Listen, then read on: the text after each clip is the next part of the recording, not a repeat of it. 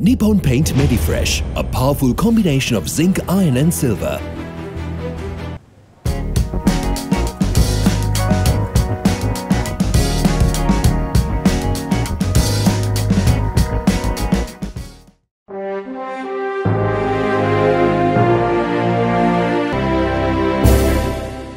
A Chinese delegation led by the special envoy of the Chinese president, State Councillor Shen Yiqin paid a courtesy call on President Ranil Wickremesinghe yesterday at the Presidential Secretariat.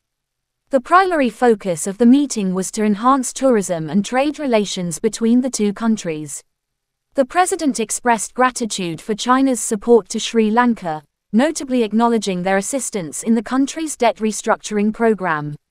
He extended sincere thanks to the Chinese president and the government for their invaluable support in this regard. Additionally, President Ranil Wickremesinghe expressed Sri Lanka's desire to augment cooperation between the two countries in the fields of tourism, sports and agriculture also highlighted that both the Hambantota port and port city are currently prepared for investment opportunities.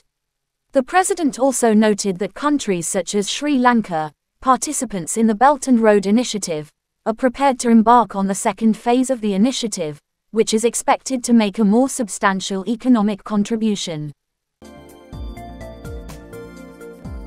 For more latest news, subscribe to FTTV.